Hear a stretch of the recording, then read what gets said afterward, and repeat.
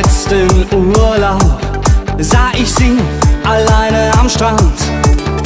Ihre Blicke ließen vergessen, dass ich mit meinen Freunden dort stand. Ich setzte mich dann zu ihr, sie sah mich lächelnd an. Das werd ich nie vergessen,